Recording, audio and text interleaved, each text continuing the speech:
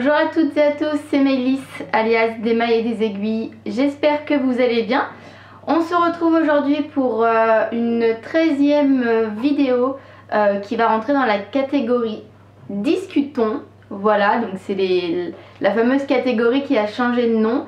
Donc aujourd'hui au programme, eh ben, ça va être une vidéo FAQ, donc foire aux questions. Lors de mes dernières vidéos, je vous avais laissé la possibilité en commentaire de me poser certaines questions et du coup je les ai toutes recensées et je les ai classées un petit peu par ordre, on va dire, euh, logique pour que ça puisse être fluide. Et puis bah, je vais y répondre aujourd'hui. Allez c'est parti avant de commencer, je m'excuse si je regarde toujours euh, vers ma droite parce qu'en fait j'ai mon ordinateur où il y a le, la liste des questions et du coup bah voilà pour y répondre et pour, pas, pour être sûr de pas en sauter je suis obligée de regarder. Donc ce sont majoritairement des questions qui tournent autour euh, du tricot, des podcasts, etc. Et on va commencer avec une question qui pique un petit peu. Euh, quel est le projet qui t'a demandé le plus de temps? Et eh ben très honnêtement, euh, et je pense que c'est incontestable, ce qui m'a pris le plus de temps, c'est la memory blanquette que j'ai un petit peu modifiée et puis que je, fais. Euh, puisqu'en fait elle est toujours pas terminée et que je l'avais commencé en mai 2016.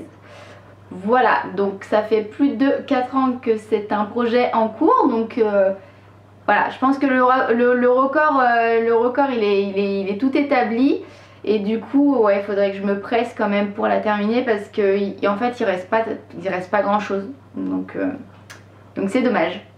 Question suivante, euh, quel est ton modèle d'écharpe préféré? Alors il faut savoir que je porte très très peu d'écharpes, par contre je porte des châles.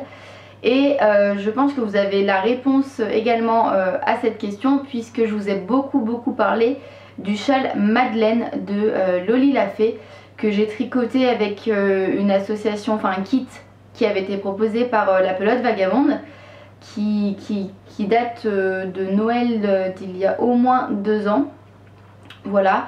Et euh, bah, c'est un châle que je porte tout le temps, qui s'associe à peu près avec toutes mes tenues et que j'adore parce que j'aime beaucoup la forme. Je me suis absolument pas ennuyée quand je l'ai tricoté et que, euh, que voilà, pour moi c'est mon châle préféré.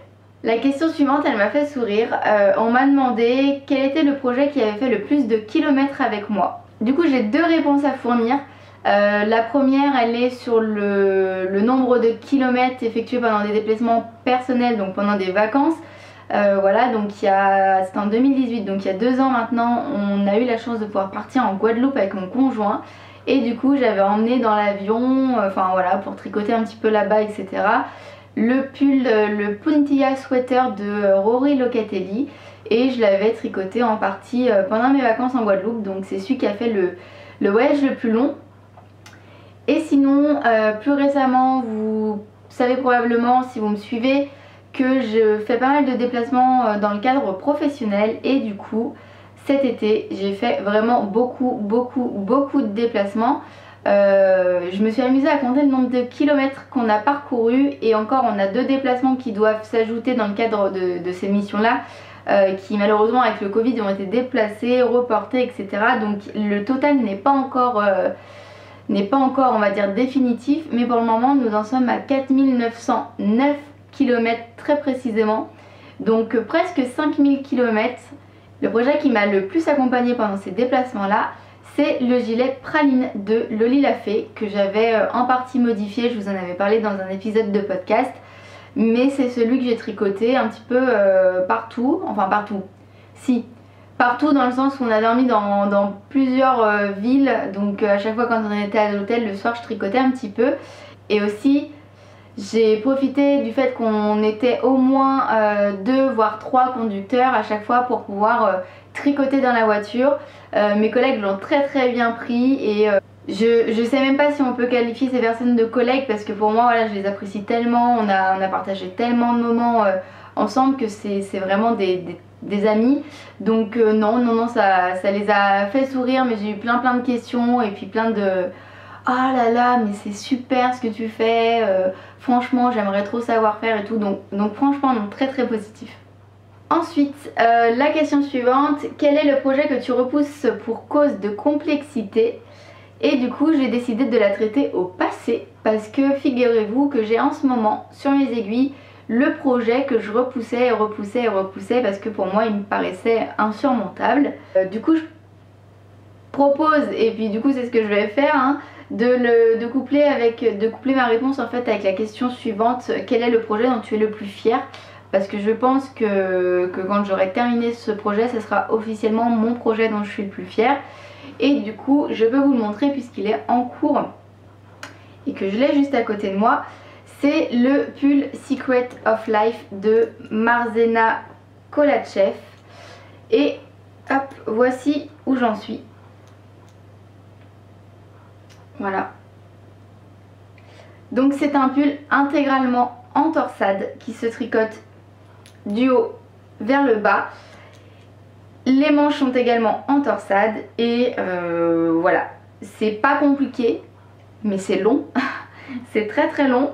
Euh, donc du coup voilà, c'est celui que, dont je serai le plus fier et en fait c'est celui euh, sur lequel je, m'arrête vraiment pour prendre le temps de regarder si j'ai pas fait des erreurs parce que j'ai pas envie qu'il soit, qu'il soit, enfin qu'il comporte des erreurs.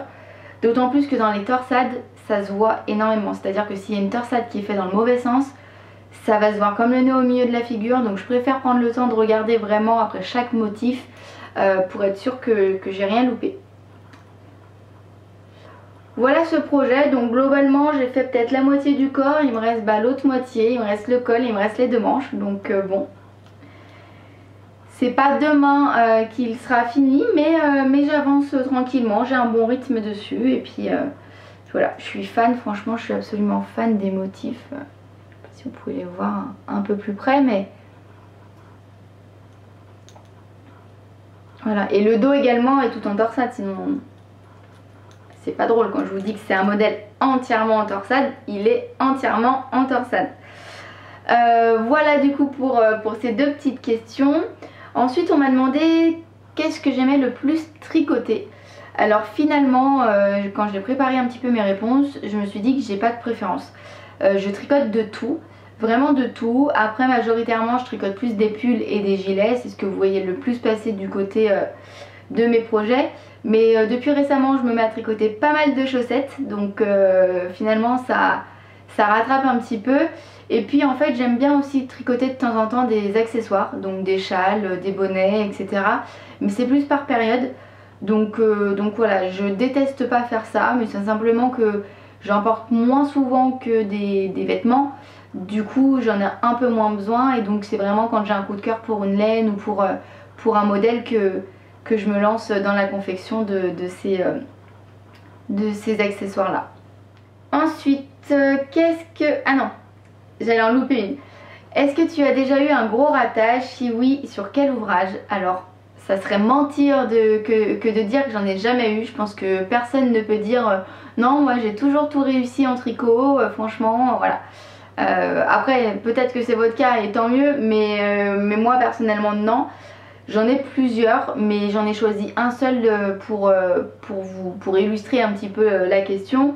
je vais vous parler d'un pull en coton que j'avais réalisé et que euh, j'ai comment dire le pull en lui-même il est, il est bien enfin ce que je veux dire c'est que le modèle euh, il n'y a pas de gros euh, grosses erreurs dedans enfin c'était c'est un, un, patron qui a c'était un tuto sur internet d'ailleurs que j'ai suivi j'ai pas eu de problème pour le suivre par contre là où est le gros ratage pour moi c'est que j'ai décidé de le réaliser, avec un fil en coton, un gros fil en coton bien épais.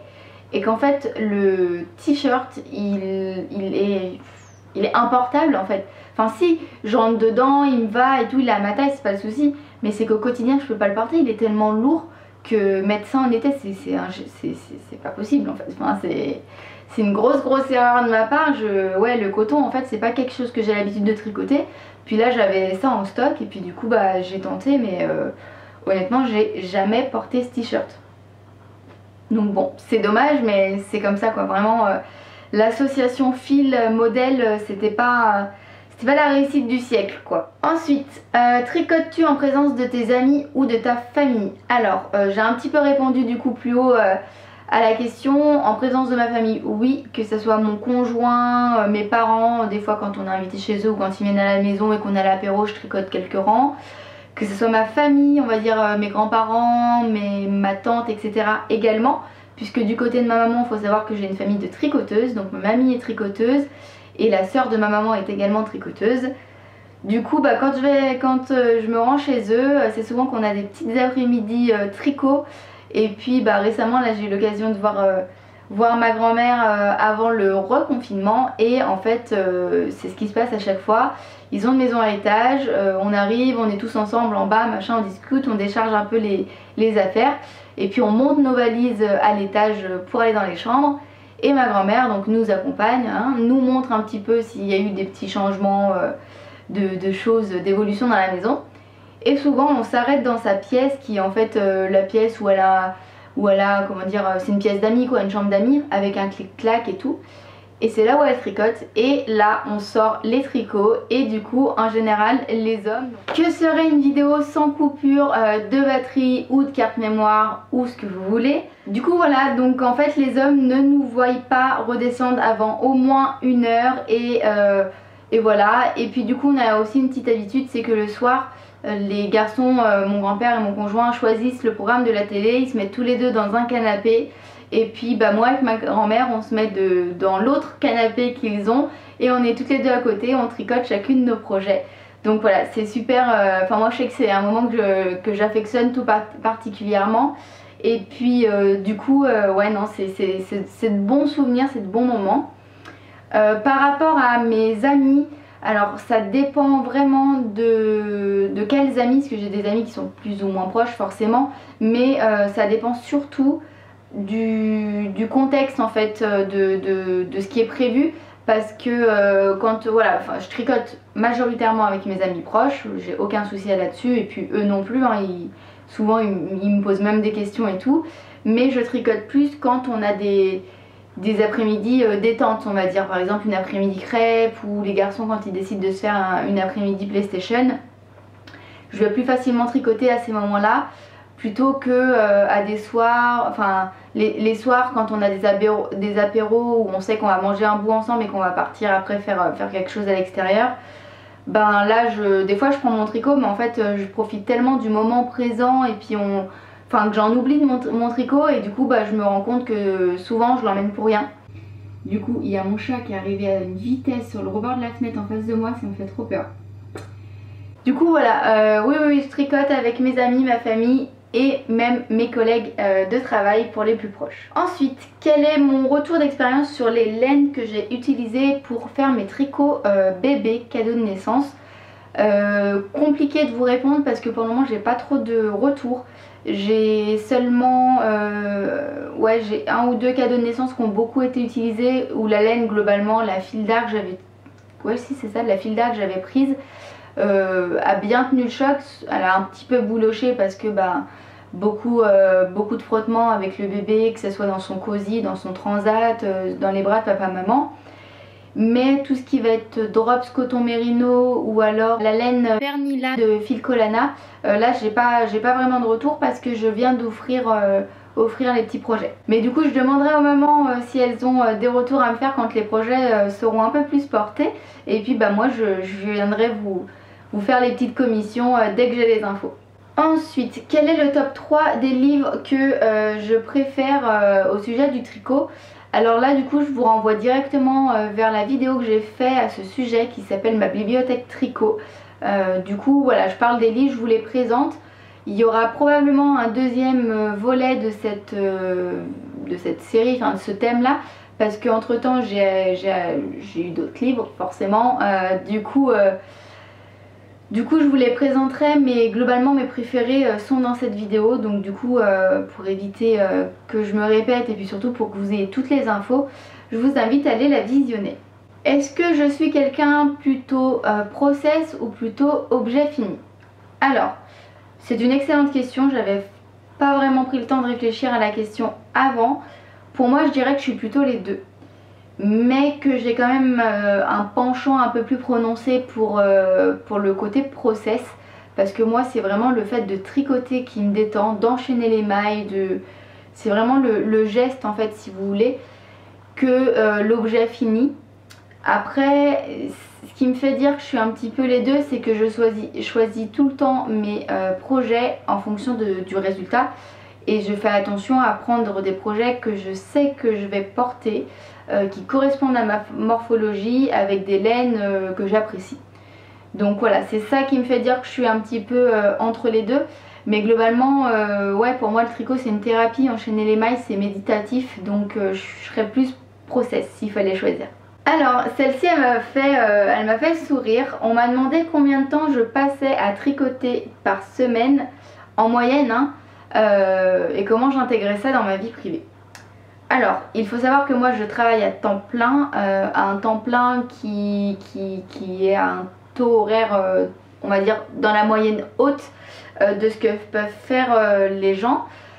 Du coup je suis très très souvent au boulot mais euh, depuis un petit moment maintenant je suis euh, normalement en télétravail euh, on va dire la moitié de la semaine. Donc je gagne un petit peu de temps parce que sinon j'ai 3 heures de transport par jour pour me rendre sur mon lieu de travail donc on va dire que ces 3 heures là je les récupère. Mais globalement j'arrive à tricoter 2 heures par jour en semaine. C'est-à-dire que je tricote le soir, une fois qu'on a mangé, que les douches sont prises et qu'on se pose devant la télé, euh, devant un film ou une série avec mon conjoint, et j'arrive à tricoter entre 1h30 et 2h. Voilà. Pour ce qui est du week-end, donc je tricote plus forcément le week-end parce que je ne travaille pas. Par contre, ça dépend du programme parce qu'on est des, personnes qui bougeons beaucoup. Euh, on a une région qui nous le permet. Puis bah voilà, on a on a, vous savez que je suis pompier, donc euh, des fois on a, on a un programme qui, on se dit on va faire ci, puis en fait change, ça, ça, change. Enfin, du coup, voilà, ça dépend vraiment du programme. Mais on va dire qu'en moyenne, ça peut, être, ça peut être 5 heures par jour de week-end. Donc 10 heures le week-end, plus 5 euh, jours de semaine à 2 heures. En gros, ça fait du 20 heures par semaine. Globalement, ça peut varier, mais, c'est à peu près ce qui revient, euh, ce qui revient on va dire régulièrement. Voilà, donc là on a terminé toutes les questions qui sont plus, euh, on va dire, ciblées tricot. Et euh, on va enchaîner avec une petite série de questions à propos des podcasts. Allez, c'est parti pour cette petite série de questions. J'espère que la luminosité qui baisse ne vous dérange pas trop parce que bah voilà, on rentre dans la période où les jours euh, raccourcissent sérieusement et il va pas tarder à faire nuit alors qu'il est à peine, il est à peine il n'est même pas 16h30. Bref. Du coup, euh, qui, première question, qu'est-ce qui m'a poussé à me lancer dans les podcasts? Donc il faut savoir que je me suis lancée dans les podcasts il y a, je dirais 5 ans à peu près. Et euh, la raison qui m'a poussée euh, à me lancer, c'est déjà que j'en regardais pas mal. À l'époque, il y avait Filles d'hiver ou Ouais, Filles d'hiver, je regardais beaucoup Filles d'hiver. Enfin voilà, il y avait d'autres podcasts qui malheureusement se sont arrêtés euh, maintenant. Et du coup, euh, je trouvais dommage de ne pas avoir de personnes euh, relativement jeunes. Puisque quand j'ai commencé à tourner les épisodes, j'avais 18 ans. Et du coup, bah voilà, il y avait des personnes qui... J'arrivais pas à m'identifier pleinement à une personne parce que je recherchais quelqu'un qui, qui puisse avoir mon âge. Et comme je l'ai pas trouvé, bah, je me suis lancée.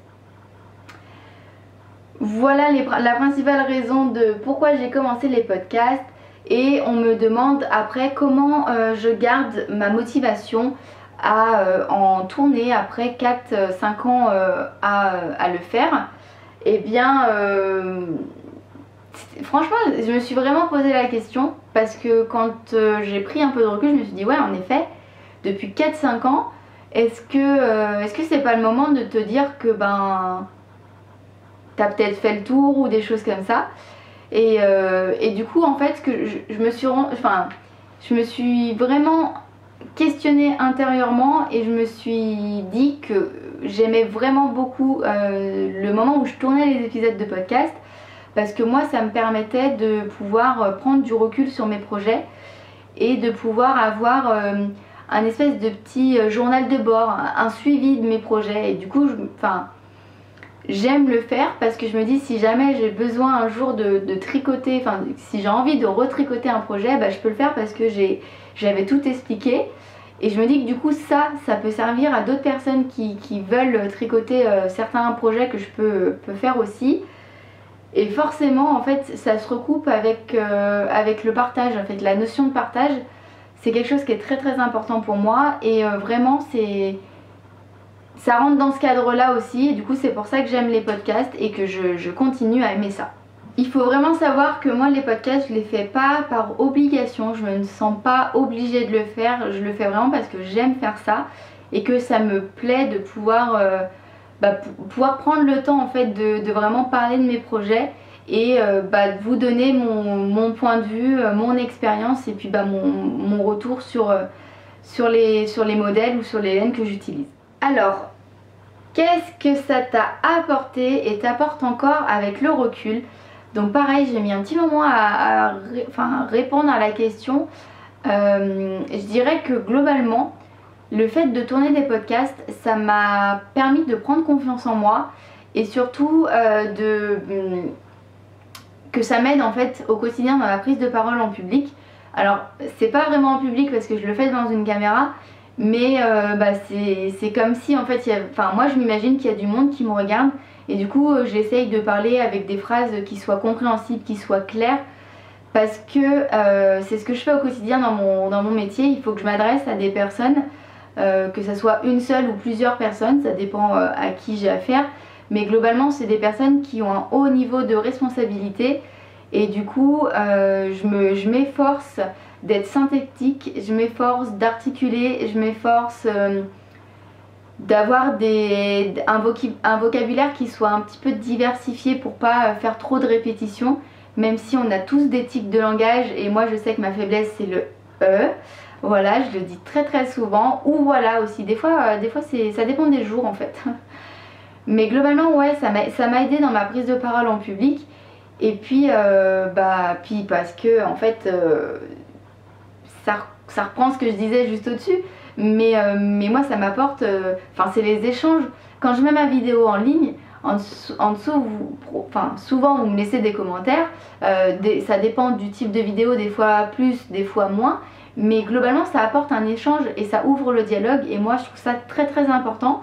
C'est quelque chose qui m'apporte énormément et qui est très enrichissant. Donc euh, voilà, ouais, je dirais que globalement, les podcasts euh, arrivent à m'apporter tout ça. Donc euh, tant que, tant que j'y trouve un intérêt et du plaisir, je continuerai. je continuerai tout simplement. Et du coup, ça me permet de faire la transition avec la, la question suivante qui est lors du tournage de mon premier épisode de podcast est-ce que j'imaginais que je continuerais encore euh, là où euh, beaucoup d'autres ont arrêté entre temps Eh bien non, honnêtement non, non, non, pas du tout. Quand j'ai tourné mon premier épisode de podcast, alors je ne suis pas allée euh, le regarder, j'avoue que j'ai un peu peur de, de le revisionner. Donc pour le moment je ne l'ai pas fait, mais clairement je pense que j'ai dû dire que je ne savais pas si j'allais en refaire un. Et honnêtement c'est vraiment le fond de ma pensée c'est que je ne savais pas à l'époque si j'allais euh, au moins tourner un deuxième épisode. Et quand je fais le deuxième, le troisième, etc je savais pas si j'allais passer la barre des 10 je me souviens m'être dit euh, est-ce que tu t'arrêteras pas avant les 10 épisodes? Et au final non.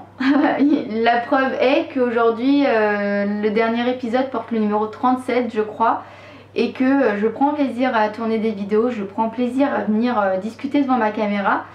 Et puis bah pas seulement pour des podcasts mais aussi pour d'autres vidéos puisque bah vous avez pu voir la série Discutons où on aborde plein de sujets et la série aussi des vlogs où je viens vous parler un petit peu dans mon quotidien. Donc voilà je, pensais pas, mais honnêtement, bah, je suis contente. Je suis contente parce que c'est vrai que j'ai vu euh, des tricopines arrêter les podcasts.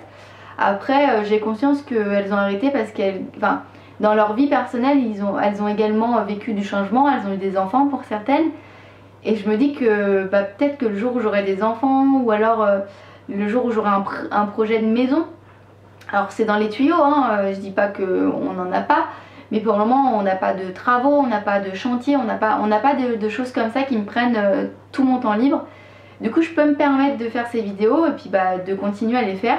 Après, je dis pas que ouais, quand, euh, quand j'aurai peut-être un, gros changement dans ma vie personnelle, peut-être que bah, je diminuerai euh, malgré moi ma venue en fait sur, sur YouTube et puis ben l'avenir nous dira. enfin la dernière question, elle, euh, elle m'a beaucoup intéressée parce qu'elle fait écho à ma dernière vidéo blabla où je vous parle un petit peu de mon ressenti sur, euh, les communautés, un petit peu YouTube, Instagram, etc. Et on me demande si euh, au jour d'aujourd'hui, si les outils ne sont pas nombreux au sujet de la communication. Alors, en exemple, on, m'a dit YouTube, Ravelry, Instagram, Facebook, etc. Euh, dans les etc. On peut, euh, on peut mettre les blogs, enfin on peut mettre euh, plein de choses. Et c'est vraiment une question qui m'a qui m'a porté à me questionner parce que je la trouve très légitime en fait. C'est vrai que, que, globalement on démultiplie les, les, supports on va dire de communication, les réseaux sociaux et du coup bah, je pense qu'il y a de quoi en perdre un petit peu son latin. Donc pour moi, il y a, en fait, je vais vous dire les outils, les outils qui pour moi sont euh, très utiles et que je ne me sens pas prêt à abandonner. Donc en premier lieu, il y a YouTube, forcément, c'est la plateforme où on peut poster des vidéos, où je trouve que l'échange est plus fluide parce que bah, une vidéo, euh, c'est comment dire, euh, même si je les prépare, enfin même si oui, je les prépare, je fais du montage, etc. Mais ce que je veux dire, c'est que on parle c'est pas comme à l'écrit où euh, du coup euh, les sujets peuvent être euh, réduits pour pas. En fait, la différence que je trouve moi entre un, un article de blog ou une vidéo YouTube, c'est que l'article de blog il est figé. on peut pas non plus en faire des qui durent 3000 pages parce qu'on va. Enfin, j'exagère, mais des 150 lignes ou 300 lignes parce que bah en fait ça va prendre du temps à la personne de les, de les regarder, enfin de les lire. Ça va prendre également du temps à une personne de regarder une vidéo, mais je trouve que c'est plus vivant et qu'on arrive à faire passer plus d'informations par le biais de ces vidéos. Et du coup, il y a aussi euh, un aspect de transmission de comment dire de, ton en fait. Le ton, il est plus facile à percevoir dans une vidéo parce qu'il y a l'expression du visage, il y a l'intonation, etc. Et c'est un peu plus compliqué de le voir dans un article de blog parce que bah du coup c'est de l'écrit. Et voilà, c'est comme les mails des fois. Euh, on, se sent piqué quand on reçoit un mail alors qu'en fait la personne n'a pas forcément voulu, c'est simplement que nous on en fait une interprétation personnelle et tout dépend de l'humeur, du contexte, bah des fois l'interprétation est un peu faussée. Et du coup l'avantage de la vidéo c'est que bah globalement vous avez tous la même interprétation puisque bah c'est une vidéo unique et puis bah mon expression du visage elle est la même pour, euh, tout le monde quoi. La clé de lecture elle est plus simple. Pour moi. Ensuite, euh, bah, Instagram, moi j'aime beaucoup parce que je trouve que euh, ça permet déjà de poster des photos. Euh, c'est beaucoup plus spontané que la vidéo. Et je trouve que les échanges via les commentaires sont également plus spontanés, c'est plus rapide, c'est plus... je trouve que c'est plus percutant. Donc bah, j'aime beaucoup ce réseau social. Et puis, mine de rien, il y a quand même un côté un petit peu artistique, si on peut dire. Mais il y a des comptes que je suis sur Instagram parce qu'ils sont visuellement beaux. Voilà, tout simplement, il n'y a pas de raison particulière, c'est que je les, trouve beaux, attractifs. voilà. Et enfin, celui qui pour moi est indispensable également, c'est Ravelry. Alors Ravelry, tout le monde n'est pas euh, très à l'aise avec. Et euh, si c'est pas le cas, il y a pas mal de vidéos sur YouTube euh, qui parlent un petit peu de, comment se familiariser avec, avec Ravelry. Je sais qu'il y a Agley Laser qui a également produit écrit un guide sur l'utilisation de Ravelry. Mais en fait, je trouve ça très important de l'avoir parce que moi, il me permet d'organiser mes cales, donc euh, les, petits, euh, les petits longues. Donc c'est le moment où on tricote tous ensemble autour d'un même thème, projet, sujet, peu importe.